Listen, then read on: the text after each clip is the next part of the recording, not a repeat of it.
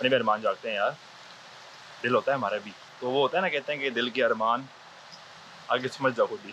Unbelievable सच्ची में। अरे से, ये छोटे छोटे से घर से किस्म के बने हुए हैं। अस्सलाम वालेकुम गुड मॉर्निंग। कैसे आप सब लोग? यार, आज को day three in Malaysia already मैं तैयार दूर होकर सब कुछ निकल पड़े हैं, बाहर घूमने के लिए। सुबह जल्दी उठ गए थे। जल्दी तो नहीं था, थोड़ा सा लेट हो गया अराउंड सिक्स समथिंग नमाज़ वमाज पढ़ी टाइम था।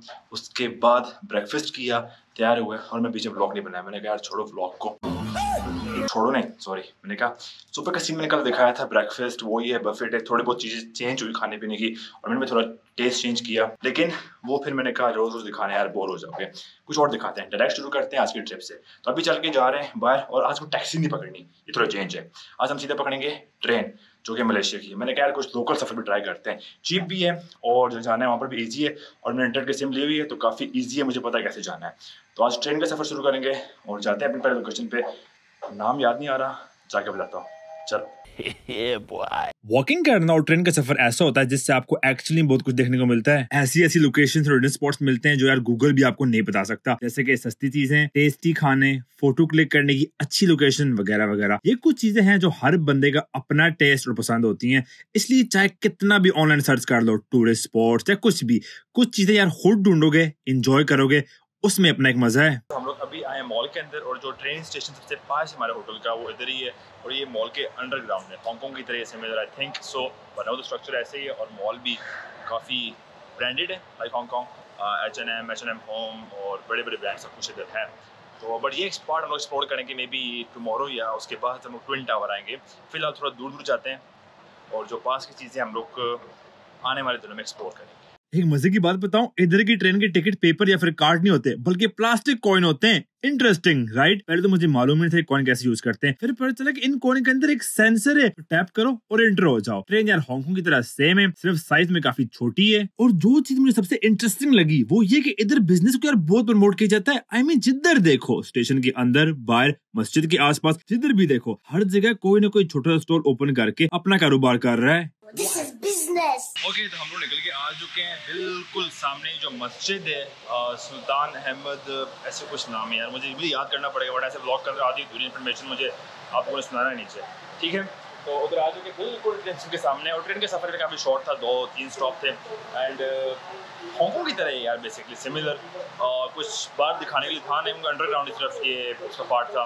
तो चलो यार, कोई बात नहीं, अभी चलते हैं बाहर की तरफ़ और दिखाते हैं कि और क्या है। मस्जिद बड़ी हिस्टोरिकल प्लेस है। बहुत ही पुराना स्ट्रक्चर है 1930 से बना। उससे पहले क्या थे बट मैंने पीछे देखा था 1930 को पोस्टर लगाया हुआ था।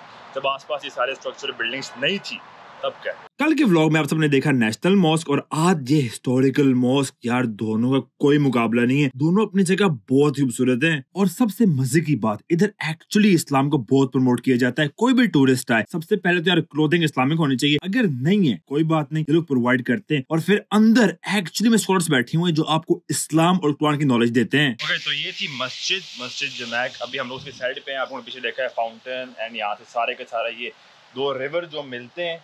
दोनों मलेशिया और उलमपुर से आते हैं मतलब एक एक साइड से दूसरी साइड से फिर यहाँ मिडिल मिडिल में एक पॉइंट होता है फिर वहाँ से दोनों कंबाइन होकर आगे जाते हैं। तो काफ़ी अच्छी जगह है पहली जगह है और ये सुल्तान अहमद अभी तक नाम याद नहीं हुआ बट याद कर लूँगा ठीक है? उसके रिलेटेड है मस्जिद तो ये थोड़ा बहुत पार्क शार्क बनाया उसके आसपास। पार्क तो नहीं है एक्चुअली ग्रीनरी है।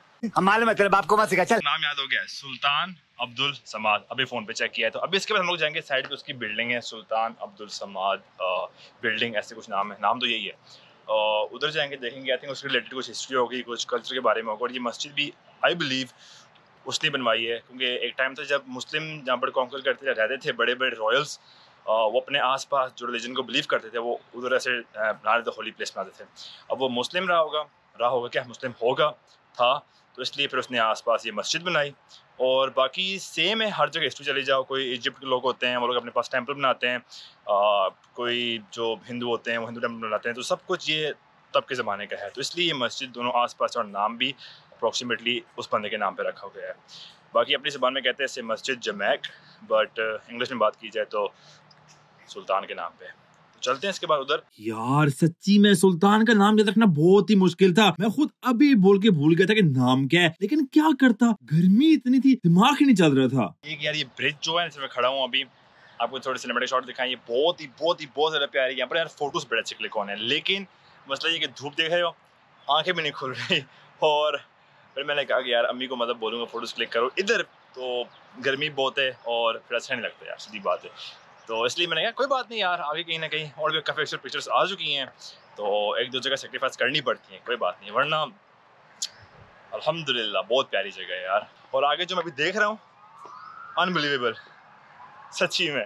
यस अनबिलीवेबल हिस्टोरिकल जगह सिर्फ़ पिक्चर्स के लिए नहीं नॉलेज हासिल करने के लिए भी होती हैं. एंड ऑफ़ कोर्स शादी की पिक्चर्स के लिए भी होती हैं. जैसे कि ये ग्रीन कपड़े पहने हुई इतनी प्यारी दुल्हन. ओ भाई, इतना घूर के मत देखो. हमने सिंगल ही मरना है. तो वो पीछे, वो रही मस्जिद जहाँ से हम लोग आए हैं और ये रहे हम लोग इधर आ चुके हैं. ये पीछे वो बिल्डिंग है. तो अंदर बाद में जाएँगे, मैंने कहा थोड़ा सी साइड पे मतलब सी तो नहीं रिवर साइड थोड़ा से पिक्चर्स क्लिक कर लें थोड़ी वीडियोस आपको दिखा लूँ थोड़ा चल लें यार। वैसे तो गर्मी है लेकिन मैंने कहा थोड़ा कर लें। कैसी अपमानजनक बातें कर रहा है अभी भी देखा था मैंने एक शादी का जोड़ा जा रहा था। आप लोगों ने देखा होगा वीडियो के अंदर। लड़का भी था लड़के मैंने पिक्चर्स लिए हैं और जो लड़की थी उससे मैंने थोड़ी वीडियो ली है। अपने भी अरमान जागते हैं यार। दिल होता है हमारा भी। अब्बा नहीं मानेंगे। तो सिचुएशन ये बन गई कि जो पीछे बिल्डिंग आपको कह रहा था सुल्तान की बिल्डिंग है वो अभी मिनिस्ट्री ऑफ़ मलेशिया थिंक कुछ बन गया है। जो गवर्नमेंट ऑफिशियल की बिल्डिंग है तो वहाँ पर अंदर जाना मना है। अलाउड नहीं है टूरिस्ट के लिए। लेकिन मैंने पूछा वहाँ पर गार्ड सिस्टम में जो सजेशन दिए कि आगे एक बिल्डिंग छोड़ के साथ एक और बिल्डिंग है, जो कि म्यूज़ियम है आई थिंक ये वाला है। यहाँ पर जा सकते हैं। उसके सामने एक और जगह है, वहाँ पर जा सकते हैं, और वहाँ पर एक और जगह है, वहाँ पर जा सकते हैं। क्योंकि मुझे नाम नहीं पता, इसलिए मैं जगह जगह बोल रहा हूँ। पर चलो, वो एक्सप्लोर करते हैं, जो अहमद वाली बिल्डिंग है, वो तो भाई सुल्तान साहब ने मिनिस्ट्री को डोनेट कर दी तो कोई बात नहीं। चलो यार, देखते हैं ये कैसा है। देखने में तो बाहर से मज़े की है काफ़ी एग्जीबिशन दिख रहे हैं। पर अंदर से कैसा है वो अंदर जाके देखते हैं। बहुत अच्छा लगेगा। तो बेसिकली हम लोग अभी आए हैं टेक्सटाइल म्यूज़ियम तो वो उसके बारे में बात करता टेक्सटाइल म्यूज़ियम के अंदर सब कुछ कपड़े शपड़ों के बारे में आ, सब कुछ पुराने जो कपड़े अलग अलग जगह से अलग अलग कंट्री से इन्फ्लुएंस हुआ है मलेशिया के कपड़े बनने के। इंडिया की साड़ी है चाइनीज़ स्टाइल के जो होते हैं कपड़े वो भी हैं और मलेशियन स्टाइल के तो ये सारा इन्फ्लुएंस हुआ है सारा कल्चर इसके अंदर दिखाया जा रहा है। यहाँ तक कि पुराने से पुराने पीछे आप देख रहे हो ये फेदर्स लगे हुए हैं और बालों से कपड़ा सा बना हुआ है। हिरन की चमड़ी से कपड़ा बना हुआ है सारा। तो ये सब कुछ वो दिखा रहे हैं और ये काफ़ी बड़ा म्यूज़ियम है। हम लोग देखेंगे अभी इंडियन टेक्सटाइल भी है।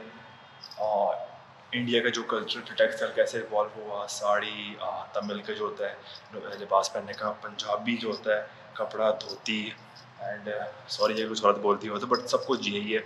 ये चाचा, मेरा नहीं मतलब कि चाचा समझ लो, ठीक है? उसके बाद ये आगे भांजा देख लो कूलर कूलर सा है ये भांजा है।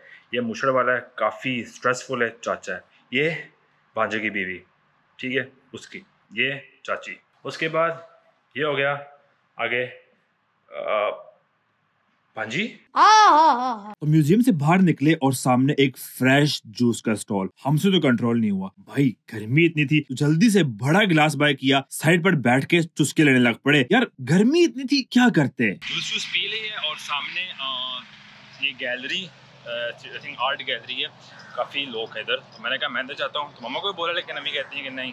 तुम जाओ, ऐसे भी तुम ब्लॉग बनाओगे, अगर फ़ोटोज़ क्लिक करोगे तो मुझे जाने का इतना दिल नहीं है। तो बाहर वेट करेंगी, आराम करेंगी जूस वूस पी रही हैं। और मैं जाकर अंदर पिक्चर्स लेता हूँ, देखता हूँ अंदर है क्या। कॉपरेट में चुका रहे हैं। मुझे चेक करते हैं अंदर है क्या। तो इस आर्ट गैलरी के अंदर बेसिकली एग्जिबिट किया गया है मेनली मैंने जो पहला पार्ट देखा है वो मलेशिया की कुछ हिस्ट्री थी, कैसे फाउंड हुआ और कैसे बना। इट्स बड़ा इंटरेस्टिंग पहले एक टिन माइनिंग एरिया था, उसके बाद किसी विलेज से एक बंदा है जो कि उठा, फिर उसने पूरा ये एरिया ओपन किया बाहर के लिए। फिर यू नो ब्रिटिश हर जगह अंगल देती है। तो उसने फिर अंगल दी, वो आया, उसने फिर कुछ टाइम ऑक्यूपाइड किया, फिर जापानीज आया, फिर उसने ऑक्यूपाइड किया। फिर जापानीज फाइनली सरेंडर उसने किया, जब फिर हिरोशिमा में अटैक हुआ था अटोमिक बॉम्ब का। उसके बाद फिर सारा ये जब जापानीज गए, फिर ब्रिटिश वापस आए। फिर उसके बाद जाके कहीं मलेशिया को आज़ादी मिली किस्म की फिर मलेशिया एक जगह बनी। पहले ये विलेज थे सारे। फिर एक सिटी बना और ऐसे सिटी का स्टेटस दिया गया। फिर अरबिक से प्रिंस आए थे कुन एलिजाबेथ भी आए थे डिनर भी हुआ था। मतलब काफ़ी कुछ मैंने शॉर्ट में देखा ब्रीफली हिस्ट्री ये। वेल डन तालियाँ होनी चाहिए। गैलरी से बाहर निकलने के बाद बिल्कुल सामने जो है ना ये एक स्क्वायर है। आई थिंक वहाँ पर लिखा हुआ है मलेशिया में Merdeka but I think English में मेरिडिक है या ऐसे कुछ नाम है। स्क्वायर है ठीक है बड़ा सा एक जगह है। और बिल्कुल इसके सामने ये पीछे आप देख रहे हो ये मलेशिया का फ्लैग लगा हुआ है। तो मतलब ये एक ओपन एरिया है एक हिस्टोरिकल एक काफ़ी इंपॉर्टेंट जगह है और पिक्चर्स बड़े अच्छे आते हैं। बाकी बीच में सबसे सबसे कुछ है नहीं इतना खास। I don't know maybe कुछ ऑफिशियल जब रिपब्लिक डे ऐसे कुछ होता है सेरेमनी होती हो इधर हो सकता है क्योंकि यहाँ पर फ्लैग है तो और नीचे हिस्टोरिकल पिक्चर्स भी हैं और कुछ थोड़ी बहुत हिस्ट्री भी लिखी हुई है मोनूमेंट होता है सिमिलर विद दैट और साइड पे यार बड़े प्यारे से ये छोटे छोटे से घर से किस्म के बने हुए हैं। बहुत ही प्यारे हैं बहुत ही ऐसे वेस्टर्न स्विट्जरलैंड टाइप के हैं। ये देखिए यार दिल करते हैं अगली बार स्विट्जरलैंड जाए। बहुत महँगा है। लेकिन नहीं अगले एक फिर सोचेंगे। पहले फ़िलहाल ये इंजॉय करते हैं। अल्हम्दुलिल्लाह बहुत प्यारा है। बिल्कुल सिटी के मिडिल पे आप समझ लो कि यार न्यूयॉर्क पार्क जैसे नहीं होता कि न्यूयॉर्क के मिडिल में एक पूरा पार्क बना हुआ है।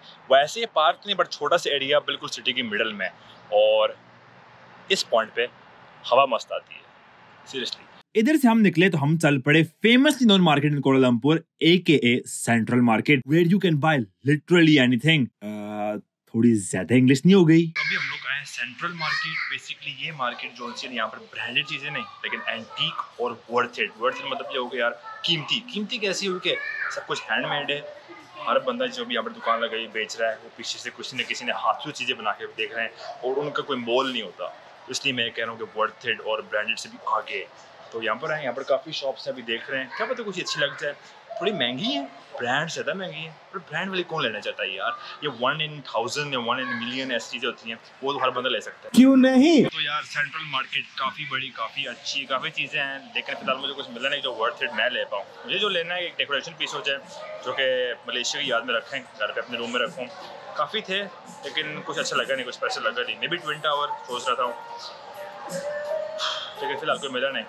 फिर हम चल पड़े चाइना टाउन की तरफ़। चाइना टाउन समझ लो यार, पिंडी बाज़ार, लेकिन सब चीज़ें मेड इन चाइना सस्ते सस्ते प्राइस के साथ, चाहे तो वॉश लो परफ्यूम चप्पल या फिर चाइनीज़ फ़ूड सब मिलेगा। तो ये था चाइना टाउन अब हम लोग जा रहे हैं वापस स्टेशन की तरफ़। रीज़न ये है कि यार, इसके पास जो भी लोकेशन है, वो थोड़ी दूर है और जाते जाते शाम हो जानी, या तो लोकेशन बंद हो जानी, या फिर वर्ड्स नहीं होगा रात के टाइम जाने को। क्योंकि किन किन जगह पे रात की लाइटनिंग इतनी खास नहीं स्पेशल नहीं है। तो मतलब अभी जाएँगे। प्लान तो ये होटल की तरफ़ जाने का पर रास्ते में कोई चीज़ देख के या फिर कुछ आइडिया बन गया कोई पता नहीं है बट फ़िलहाल चल के जा रहे हैं ट्रेन की तरफ़। फिर दिखाता हूँ क्या सिचुएशन है।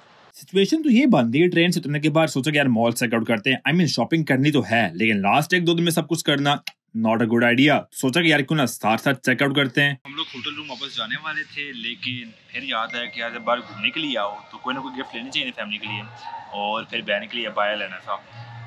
डिमांड दूसरा दिन है मलेशिया में, तीसरा दिन एक्चुअली पहले दिन हम लोग आए थे तो चीज़ लेना शुरू कर देना चाहिए, आराम आराम से। फिर लास्ट दिन सब कुछ यार रखो तो ये मसला होता है कि जल्दी जल्दी में अच्छी चीज़ नहीं मिलती, या फिर सस्ती नहीं मिलती। देसी हैं यार फिर थोड़ा बहुत जुगाड़ करना पड़ता है पैसों का भी। तो इसलिए अभी मोम चेक कर रही हैं, कुछ सिस्टर की बाया मैंने भी कुछ अपना रिकमेंडेशन दी लेकिन मुझे ज़्यादा पता नहीं है। और इसलिए मैंने कहा यार भाई तू बाहर ही रहे वैसे कुछ उल्टा फुलटा बोल दिया तो शॉपिंग के टाइम पे लेडीज़ को तंग नहीं करना चाहिए। शाबाश बेटा। तो मैं कह रहा था कि शॉपिंग हाँ बेसिकली शॉपिंग कर ली वहाँ पर आ, मुझे कॉल आ गई थी इसलिए मैं बात ज़्यादा कर नहीं पाया। कुछ चीज़ें देख ली हैं मे भी जाते वक्त लें क्योंकि यार तीन चार जगह आपको प्राइस देखना चाहिए और क्वालिटी भी थोड़ी देखनी चाहिए। क्वालिटी अच्छी थी ब्रांडेड शॉप थी ब्रैक नहीं कर रहा। एडवाइस है। कि एक जगह देखने के बाद मत लिए करो तीन चार जगह चेक करो। ये मैंने अपनी में सीखा है। उसके बाद जब बाहर घूम रहे हो आई थिंक आखिरी एक दो दिन हो फाइनलाइज कर लो और फिर बाय कर लो। बेटर रहता है। और ये किया हम लोगों ने। अभी चल रहे हैं, होटल की तरफ़ जा रहे हैं, पास में ही है। आज हम उन्होंने बेसिकली वॉकिंग ज़्यादा की है एंड ट्रेन ली है, काफ़ी अच्छा है। आप लोग जो चल के देखते हैं ना रास्ता, वो टैक्सी पे या बाकी चीज़ पर नहीं देख सकते। और चल के हमने कितना कुछ डिस्कवर किया, ऐसी जगह जलेबी। यहाँ तक जलेबी हम लोगों ने खाई। क्या करूँ मैं? मर जाऊँ? पता है मिलती है पाकिस्तान से बाकी मुल्क से लेकिन थोड़ा बहुत ट्राई करना चाहिए। और आई थिंक ब्लॉग यहाँ पर एंड करूँगा। अभी काफ़ी थक गया हूँ यार। ओके तो बहुत होगी बातें। हम मिलते हैं अगली बार। तब तक के लिए अल्लाह हाफिज़।